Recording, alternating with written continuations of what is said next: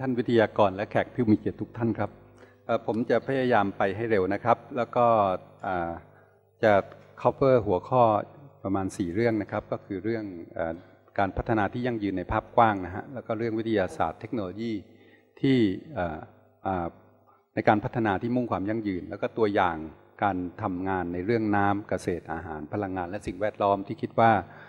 จะตอบสนองความคิดต่างๆ เหล่านั้น แต่ท้ายสุดนะครับก็คิดว่าคงจะต้องมาถึงประเด็นที่สำคัญมากสำหรับการทำให้เกิดการพัฒนาที่ยั่งยืนนั้นก็คือการศึกษาสำหรับอนาคตของเยาวชนของเราในประเทศนะครับ ซึ่งจะเป็นตัวที่รับประกันได้ว่าจะยั่งยืนจริงหรือเปล่านะครับในความหมายของการพัฒนาที่ยั่งยืนเนี่ยนะครับ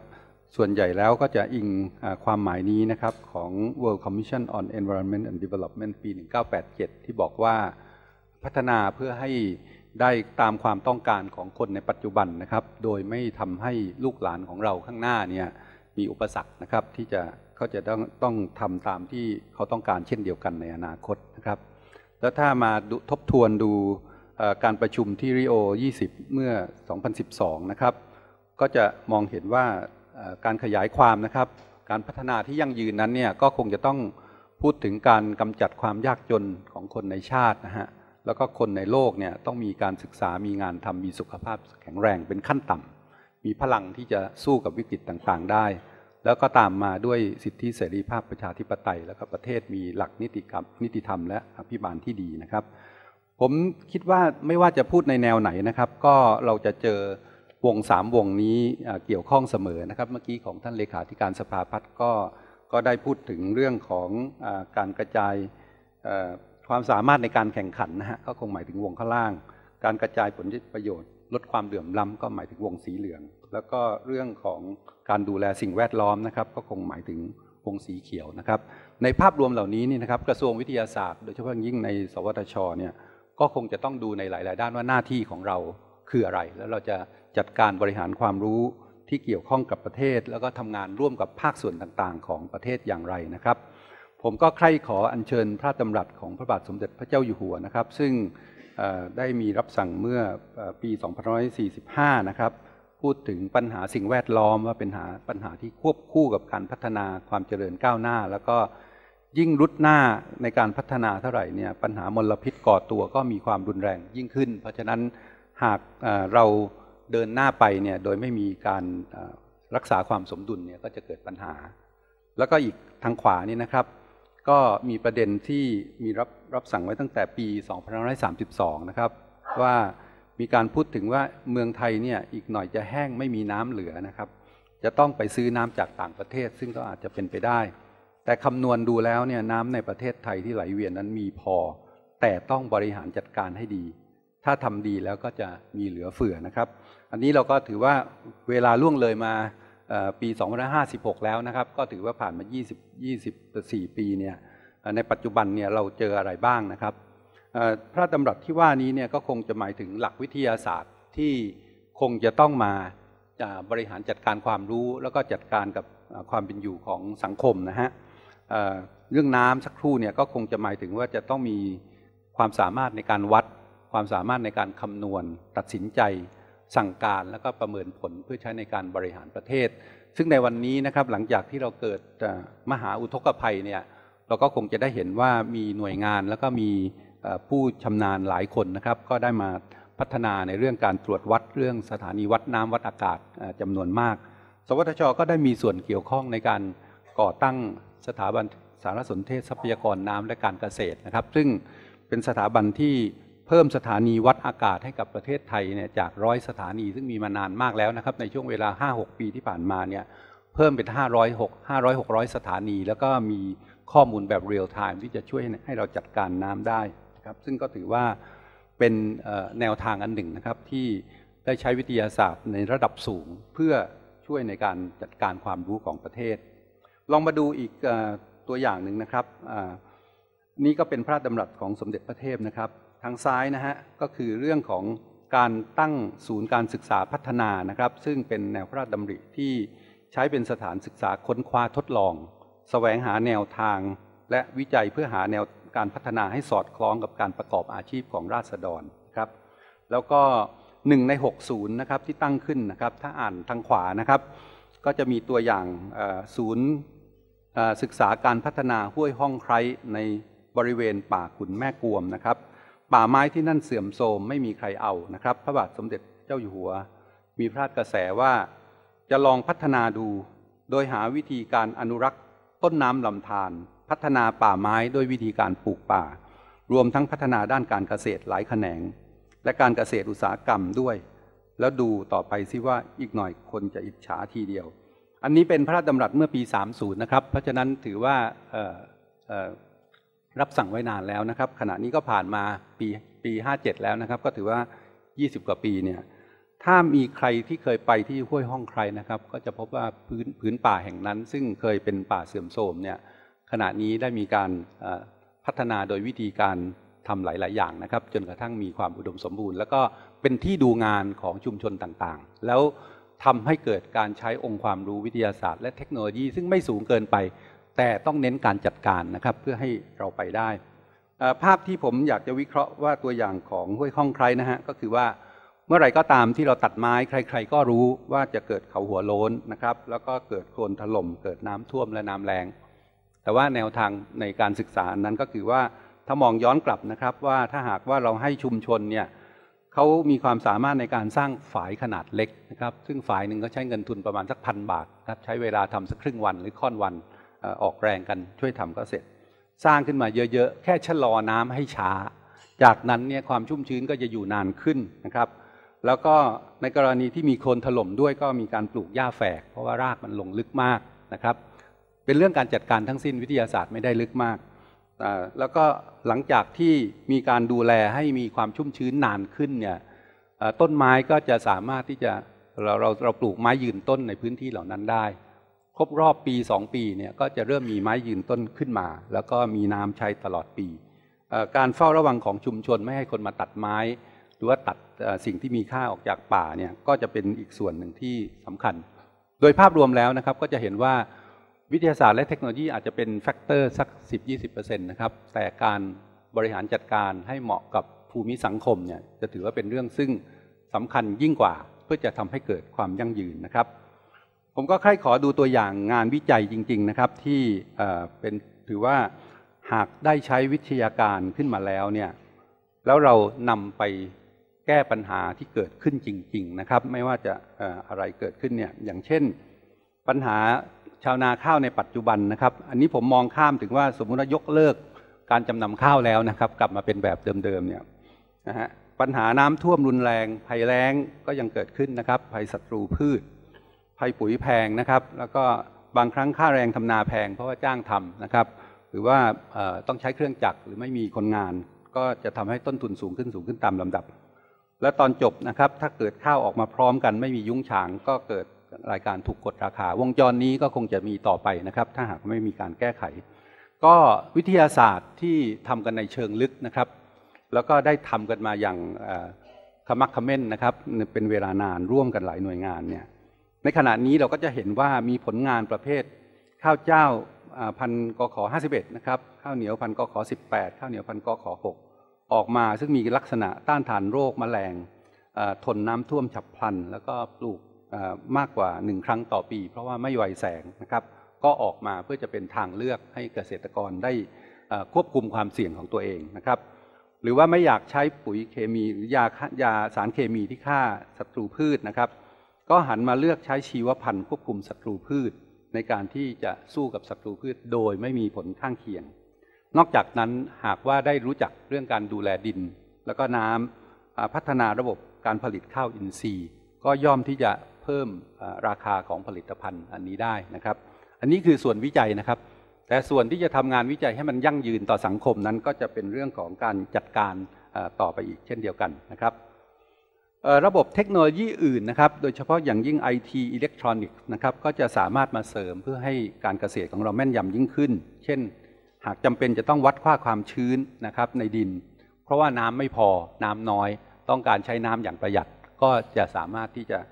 ทำงานคู่กันได้ มีสถานีตรวจวัดอากาศเป็นต้น ผลผลิตที่ออกมาแล้วนะครับ ถ้าหากว่าจะต้องควบคุมอุณหภูมิ เพื่อจะยืดอายุ โดยเฉพาะอย่างยิ่งผลไม้นะครับ ก็ สามารถที่จะเพิ่มระบบที่ติดตามอุณหภูมิพร้อมสัญญาณเตือนได้เป็นต้นนะครับ ขอยกตัวอย่างกรณีของพลังงานและสิ่งแวดล้อมนะครับ ซึ่งปัจจุบันนั้นเป็นถือว่าเป็นประเด็นค่อนข้างจะเชื่อมโยงกันนะครับยกตัวอย่างนะครับกรณีน้ำเสียจากโรงหมูนะครับ นอกจากจะเหม็นและชาวบ้านไม่รับแล้วเนี่ยจริงๆแล้วเนี่ยก็สามารถที่จะแก้ไขปัญหาได้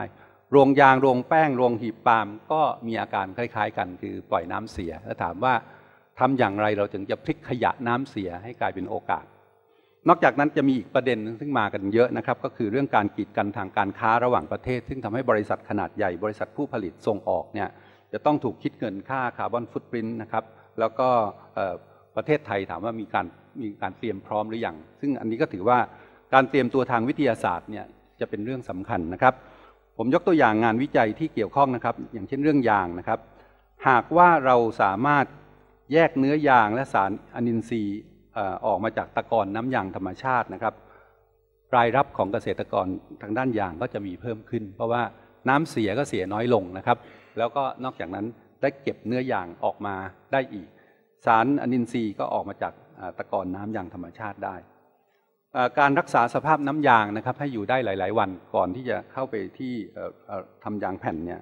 ก็สามารถที่จะใช้สารใหม่นะครับที่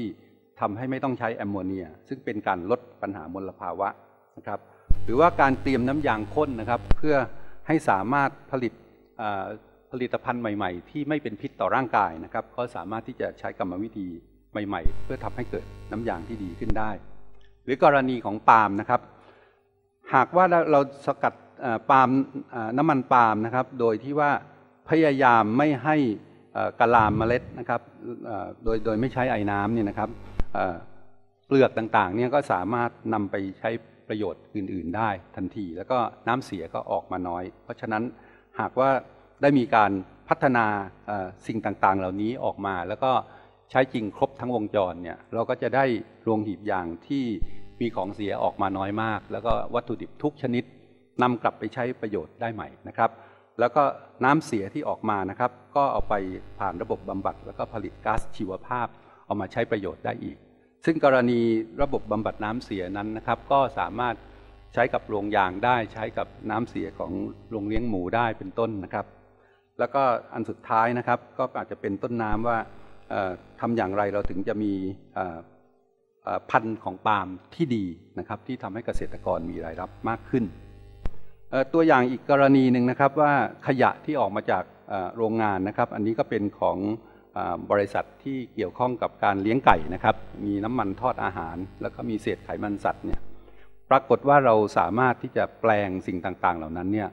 ออกมาเป็นไบโอดีเซลที่ใส่เข้าไปในเครื่องยนต์ของโรงงานได้แล้วถามว่ากรรมวิธีเหล่านั้นต้องนำเข้าจากต่างประเทศไหมขณะนี้นักวิจัยของเรานะครับ โดยอาศัยเรื่องของความหลากหลายทางชีวภาพในประเทศไทยเนี่ย เราก็สามารถหา catalyst นะครับ ซึ่งสกัดมาจากวัตถุดิบแถวแถวโรงงานนั้นนะครับ ก็คือเอาเปลือกไข่มานะครับ แล้วก็ใช้มันทำหน้าที่ที่จะเป็น catalyst สำหรับแปลงน้ำมันทอดที่ใช้แล้ว หรือเศษไขมันสัตว์หรือน้ำมันปาล์มดิบๆนะครับ ออกมาเป็นไบโอดีเซลแล้วก็สามารถวกกลับมาใช้งานได้เลย ก็ถือว่าประหยัดทั้งค่าใช้จ่ายด้านพลังงาน แล้วก็ได้สิ่งแวดล้อมด้วย อันนี้ก็เป็นภาพของการทำงานร่วมกับหน่วยงานต่างๆ มาเป็นเวลาหลายปีนะครับ นั่นก็คือกรณีที่เราจะต้องทำเรื่องคาร์บอนเครดิตนะครับหน่วยงานซึ่งมีการผลิต แล้วก็ส่งออกจะต้องถูกคิดเงินเรื่องคาร์บอนฟุตปรินต์เนี่ยนะครับ ในที่สุดจะต้องมาหันเหดูตนตนเองว่าวัตถุดิบของเรามีคาร์บอนฟุตปรินต์สักเท่าไหร่ สิ่งที่เราต้องการคือฐานข้อมูลวัฏจักรชีวิตของวัตถุดิบ แล้วก็วิธีการคำนวณ ซึ่ง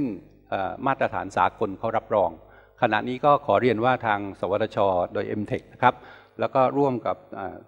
องค์กรก๊าซเรือนกระจกเนี่ยได้ทำระบบบริการเหล่านี้ขึ้นมาแล้ว แล้วก็ฐานข้อมูลที่เกี่ยวข้องกับวัตถุดิบ ที่ช่วยให้เราคำนวณเป็นผลิตภัณฑ์นะครับคาร์บอนฟุตปรินของผลิตภัณฑ์เนี่ยสามารถทำได้แล้วหลายร้อยผลิตภัณฑ์นะครับก็ถือว่าเป็นโครงสร้างพื้นฐานความรู้ที่สำคัญ และคิดว่า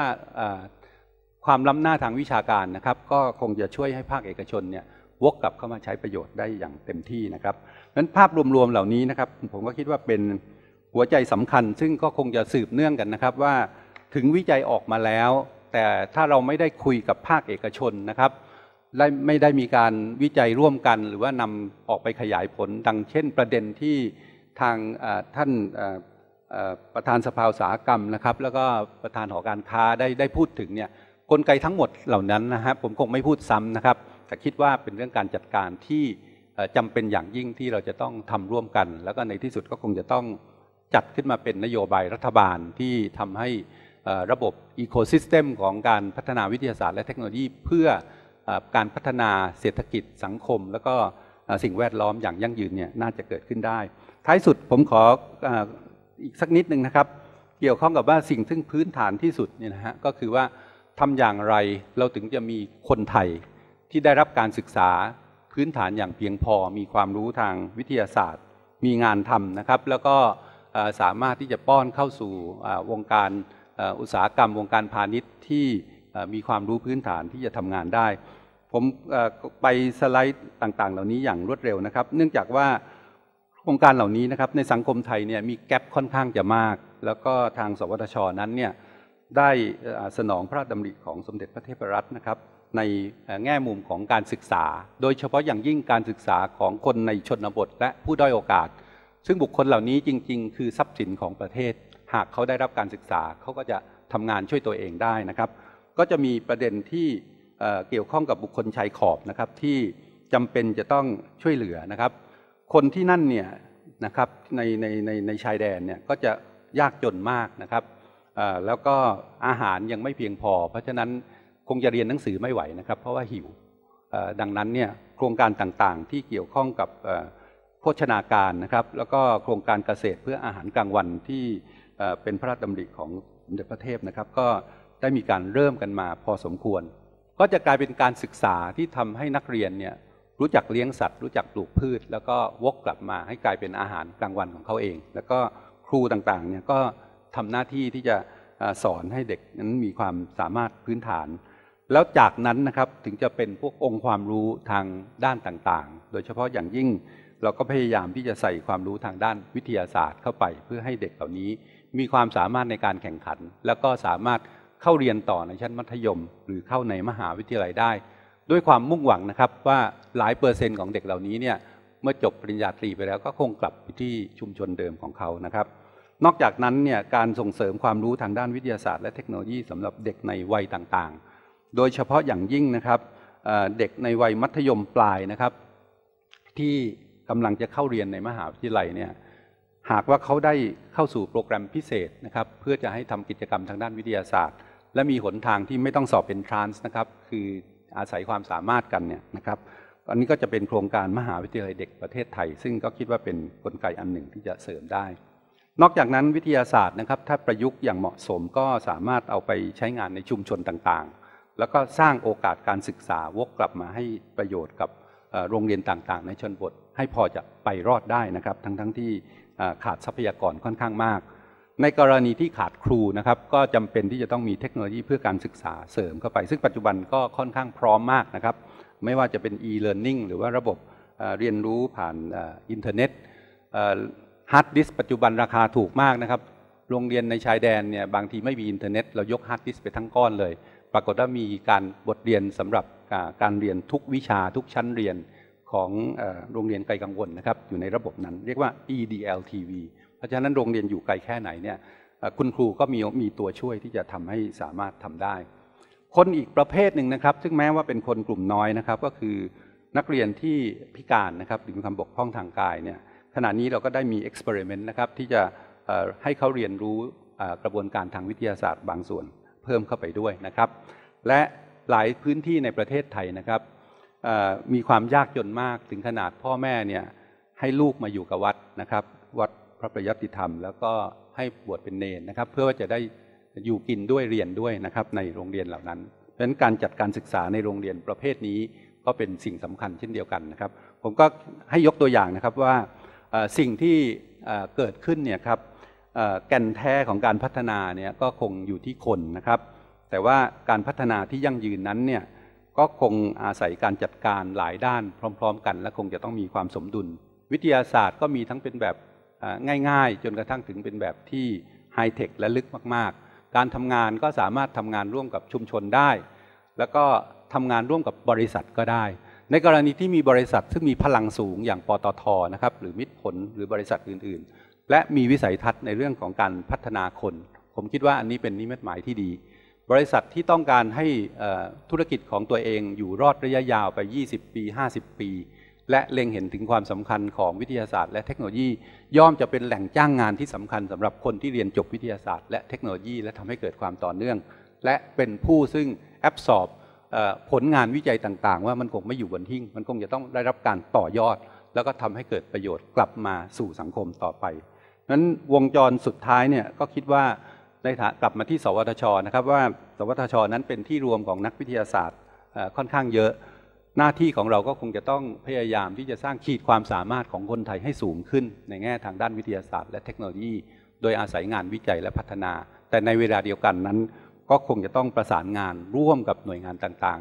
ๆในทุกๆด้านนะครับ ไม่ว่าร่วมกับองค์การทางด้านการศึกษาและภาคเอกชนครับ ผมก็ขอจบการนำเสนอเพียงแค่นี้ครับขอบคุณครับ